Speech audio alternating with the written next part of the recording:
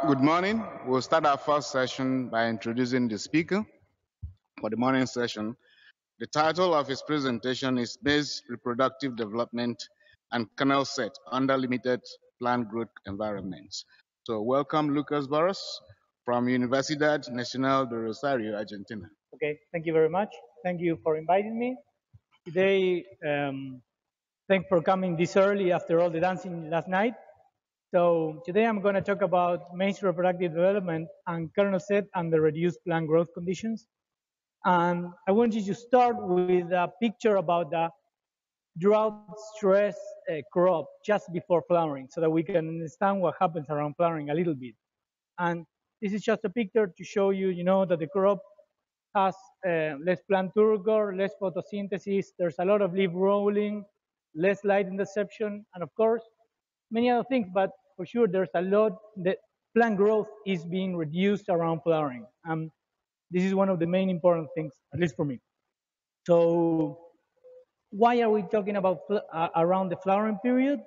It's because this is the most susceptible part uh, of the crop cycle um, for yield susceptibility. So any drought stress around that period, um, yield is very, very, let's say, susceptible, and that is the is what we call the kernel set period, and it's around the flowering period. And why am I talking about the kernel set period? Because if you go and you see yield components, kernel number, the number of kernels that we harvest at maturity is very related to yield. So whenever you have a drought, for example, kernel number goes down and yield goes down. And I'm not saying that kernel size is, kernel size is not important because I've been, I've been working with kernel size for a long time, but, but the main yield component is kernel number. So what happens around flowering is critical for having more or less kernels and having more or less yield. Now, for a long time, um, we've known, well, long time, I don't know, like 10, 20 years, we've known that the number of kernels that we harvest is very related to how much the plants are growing around flowering, how much the crop is growing around flowering. And if you go and you check for most of the agronomic practices that we do, they are they are for they are always trying to increase crop growth around flowering for maximizing the number of kernels and maximizing the yield at the end of the season. Okay. Now, I was I was invited to talk about um, reproductive development, so I, I so uh, before that I need to give a couple of you know a couple of uh, definitions.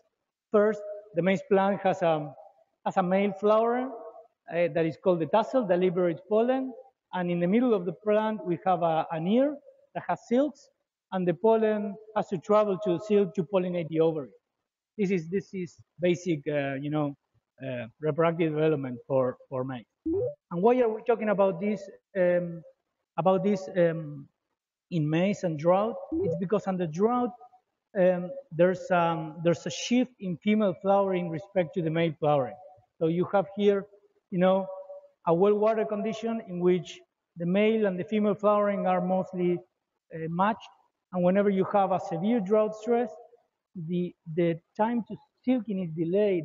And what happens is that there's, there's, a, there's a time gap between the male flowering and the female flowering. Okay, so the, that is what we call, traditionally what we call the ASI, the anthesis to silking interval.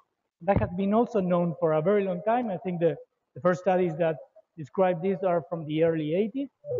Um, the second thing that we have learned is that if you go and you throw fresh pollen to those late appear, late appearing female flowers, they will not give a kernel. So, so well, that, that's more or less a little bit what happens around flowering. Breeders have also known this, not only the physiologists, but the breeders have also known this for, for a long time. And this is because whatever delays the female flowering respect to the male flowering, whenever they see that, they also see a yield reduction. And this is this is a, a figure coming from coming from um, from a breeding program from Pioneer. Okay, so what I want to emphasize the, is that whenever there's reduced plant growth, there's a delay in time to female flowering, a delay in time to silking. But this we don't see this only under drought. We see this under any condition that reduces plant growth. That means a defoliation around flowering, that means reduced nitrogen. That means reduced radiation. This is just an example.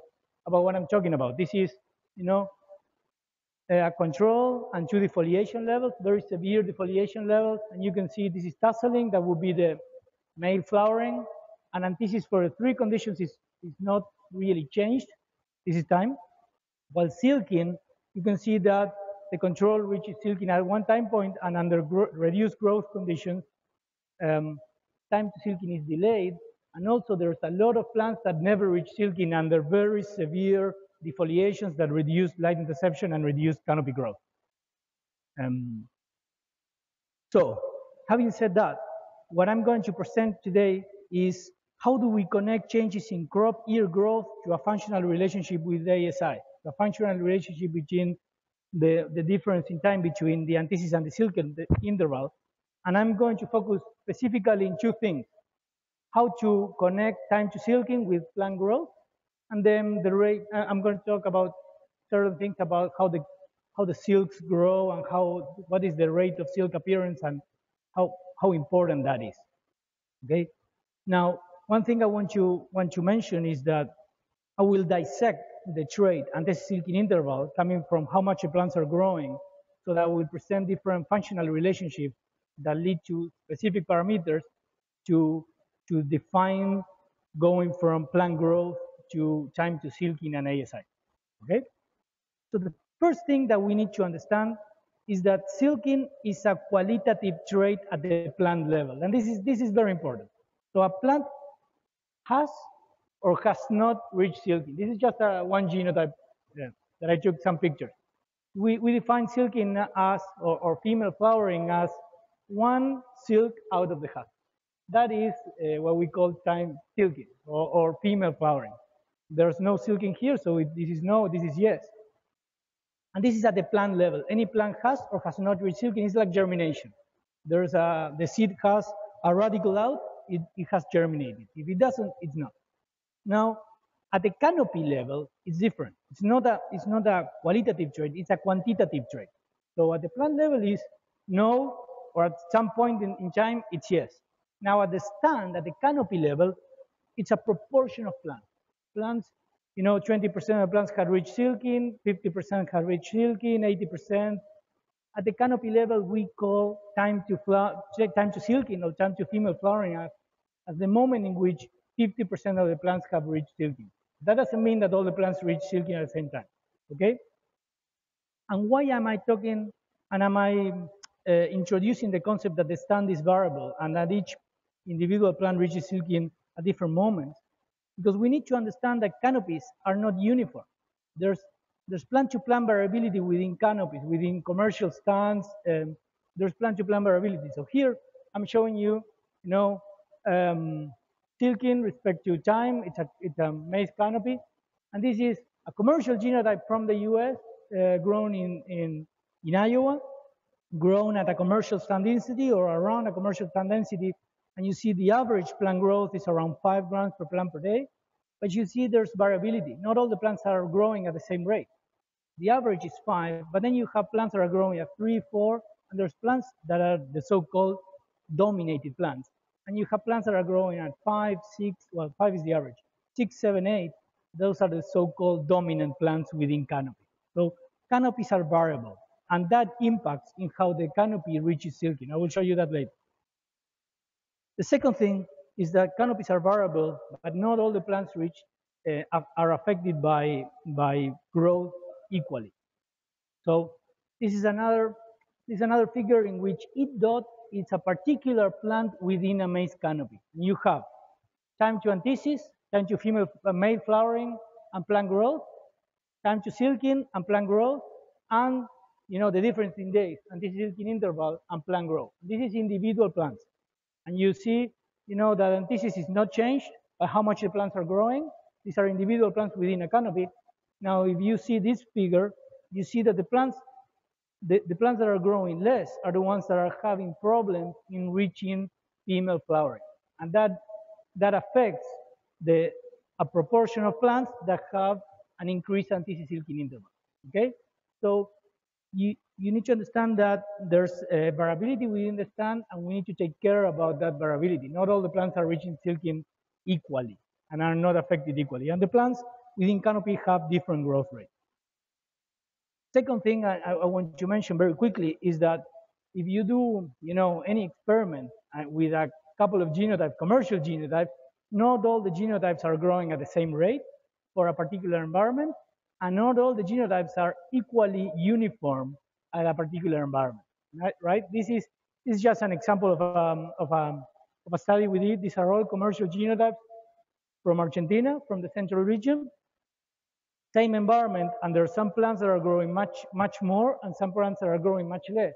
And also, there are some, some canopies that are intrinsically more uniform, and there are some genotypes that are intrinsically more ununiform or more variable.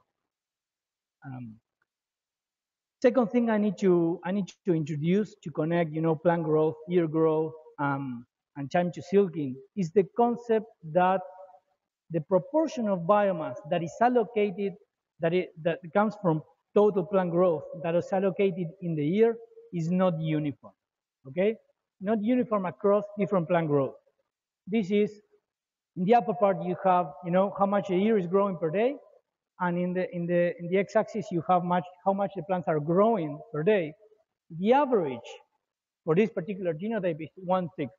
So one sixth, one gram out of total six grams produced by the plant around flowering is going to the ear. Okay?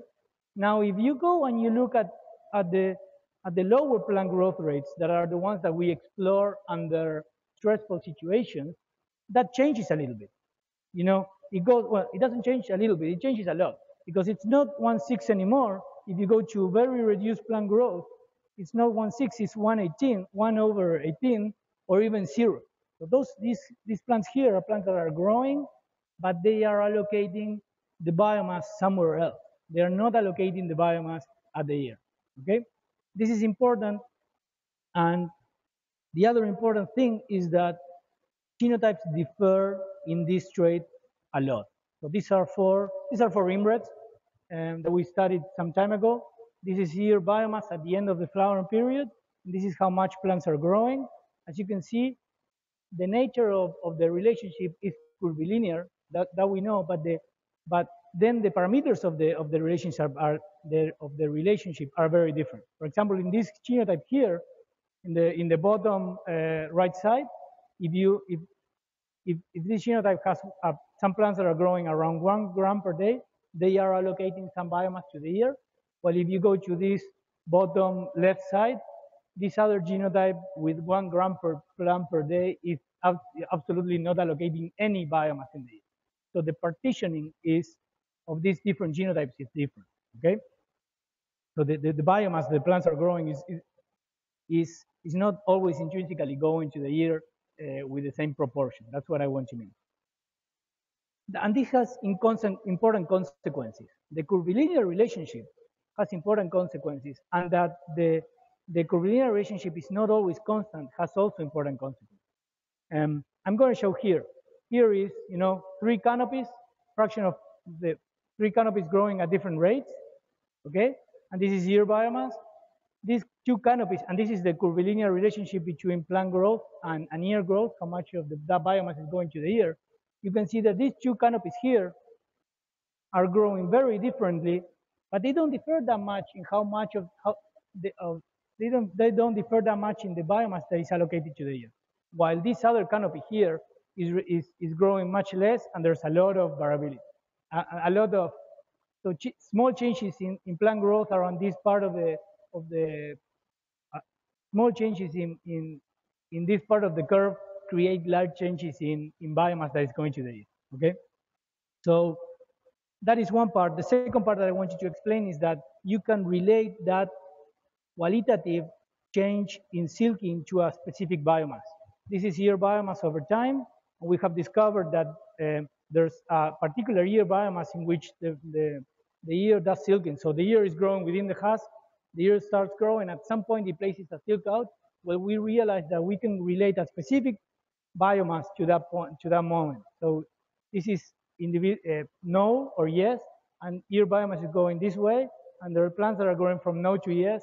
And if you go and you check different canopies that are growing at different rates, this is for the same genotype, it's always more or less constant. So you can relate um, the time to silking of a particular genotype um, at a particular environment to the moment in which, in which this biomass is reached. Now, having said that, we developed a model to understand all these trade relationships in which we have, you know, how much the plants are growing, the variability of the stand, what is the what is the partitioning, and then the moment in which time to silking is reached. And I don't want to bother too much, but with this, but we, we tested this with different environments, different hybrids and inbreds, and this is just um, to show that that we could predict. First, we could predict 50% silking, and then we could also predict the plant-to-plant variability in time to silking within a canopy. Okay, I, am not going to talk about much about that. So I told you I was going to talk about two things, um, time to silking and canopy growth, and I think I, I, I more or less uh, covered that. And then I wanted to talk a little bit about the importance and the, of how silks appear within a year. Traditionally, crop physiology has has has said, you know, you know more, you you need more plant growth for having more ear growth, for having more for, for having more kernels. Now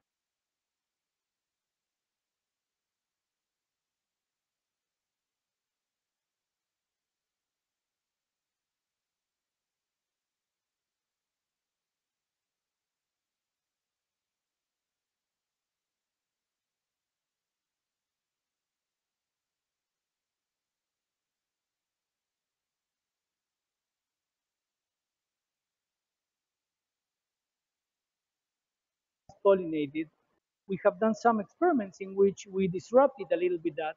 We let all the ears come out and then we pollinated them all together and suddenly we started having more kernels in the upper part of the ear.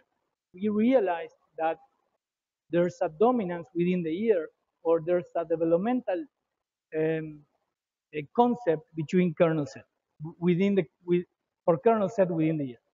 And, and not, I don't want to describe much about this, but but there's um, there's um, a concept right now that relates to how many silks are out in three days. We'll tell you those are those are silks that will surely give a kernel. The silks that are coming out of the year are mostly sure, mostly surely aborted um, tissue. They're they're going to abort. And of course, you can imagine uh, an ear that's having this pattern of silk extrusion will have more late appearing silk that has more late appearing silk will most surely be aborting structures and, and the changes and the, the, the capacity of those late appearing silks for setting kernels is, is very low. And this, this applies not only for silks within an ear, but also for you know the, the time difference between the silking of a, of one ear and the time of the silking for the second ear. If the second ear doesn't reach silking within three days respect to the first one, the chances of giving a kernel is very low. So we, we tested, we, we started talk, uh, working with this, and what we did in the last years is traditionally we have silk number as a, as a function of time, and you have ear biomass as a function of time, and there's a moment in which you reach silking.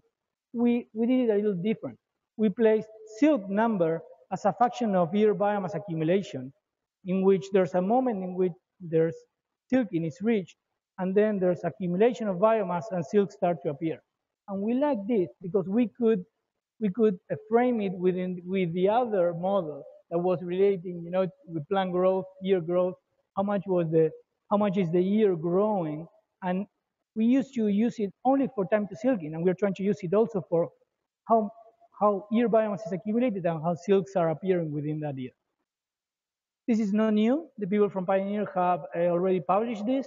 This, this I, am, I am not going to explain the whole figure, but I'm, I'm, i want to highlight that they, they, they show that dif different genotypes, this is the drought tolerant one, and this is a drought susceptible one.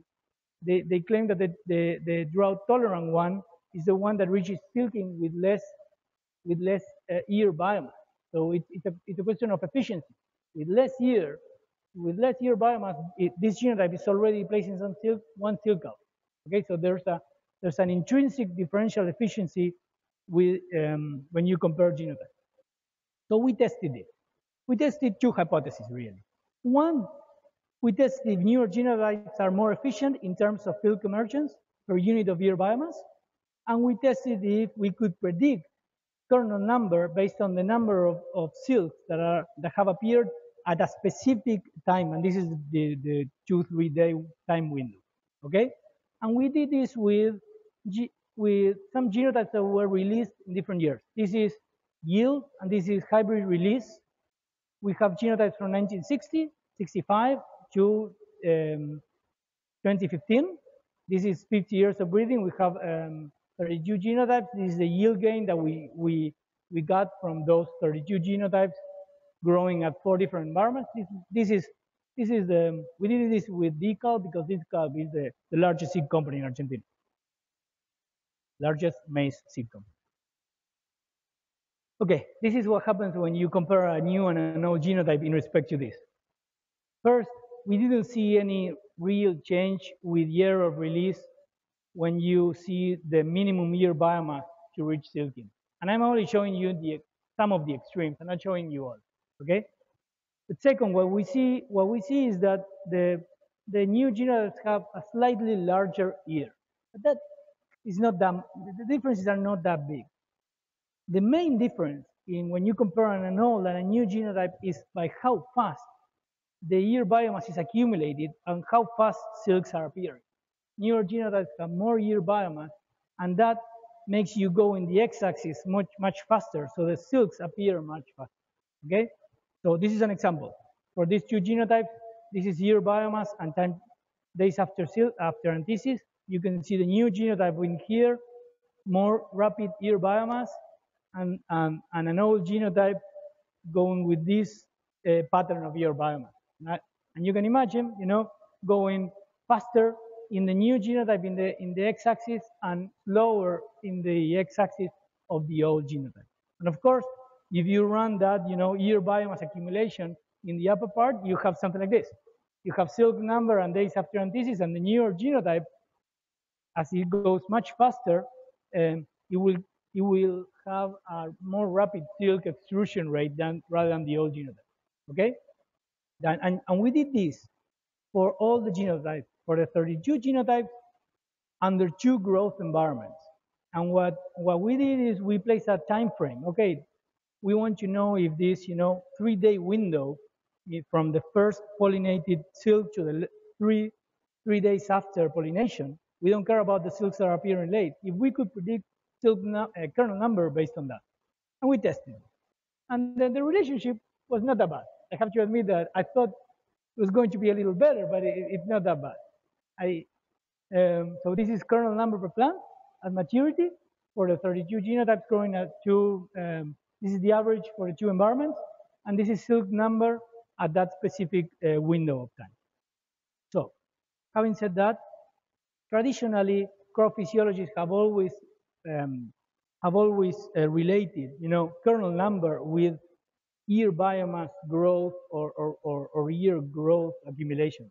And here we are trying to not place year growth and year biomass. We're trying to, to link how many silks came out at a specific time point. So uh, we are trying to, to get the developmental issue uh, in the context of kernel set.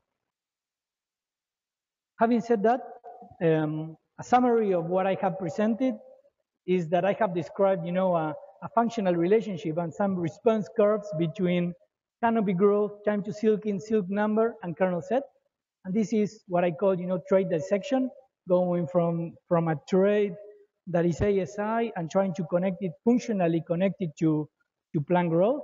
And we, we described some functional relationships in which you can later on, you know, do a QTL over the parameters or and place it in a model. Of course, with that, you can also start hypothesizing. And I, I, will, I, will, I will throw this, you know, so as to start some kind of discussion later on. But I like, I like this for thinking about, you know, a plant ideotype wish list. Within this framework, um, what would I like if I if I if I wanted a if I had the possibility to have a to have a wish list. First, the most important, we want to sustain growth a stressful environment. That can be deeper roots or it can be delaying water to, to later stages, from vegetative to more reproductive stages. But it's, it's very critical to sustain growth at particular uh, at stressful environments. Second, and we, we, don't, we don't hear about this much, but it's very critical to have uniform canopies. I went maybe a little, a little fast in the, in the, the uniformity of the canopies, but this is, is really critical, especially at, at not at very good plant growth conditions, but at very bad plant growth conditions. Plant to plant variability really decreases yield. So a stressful environments is, are, the, are the environments in which you, you need to have very uniform canopy. Third, um, have, have um, good biomass. Uh, that, that means good biomass partitioning. That means whenever there's a stressful situation in which the plants are not growing much, sustain the, the partitioning, the, the, how much biomass is going to the ear, right?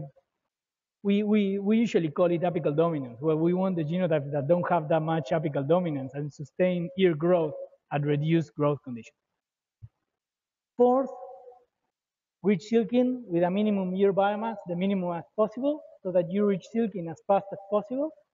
And of course, um, be efficient in the use of that ear biomass for placing silks out. So, you know, be the, the, the ideal um, the ideal ear would be one that with minimum ear biomass you have silk quickly out um, within the husk, from the husk. So having said that, I am open to questions uh, later on. Thank you.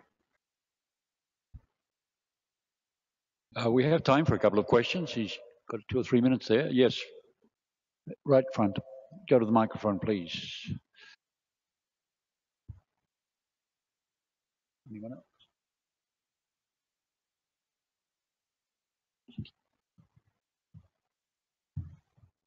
Adam Siddique from University of Western Australia. I enjoyed your talk, Lucas.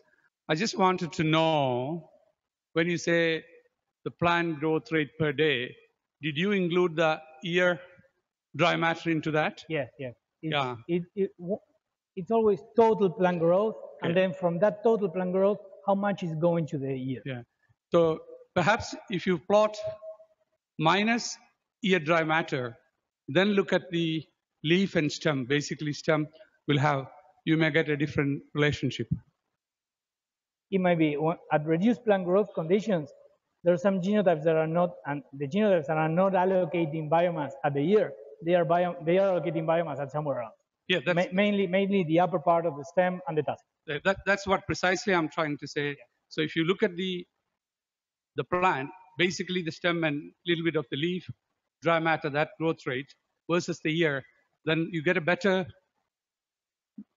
ability to look at the partitioning coefficient. Thank you. Okay, thank you very much. Thanks for the comment. Thank you, Lucas.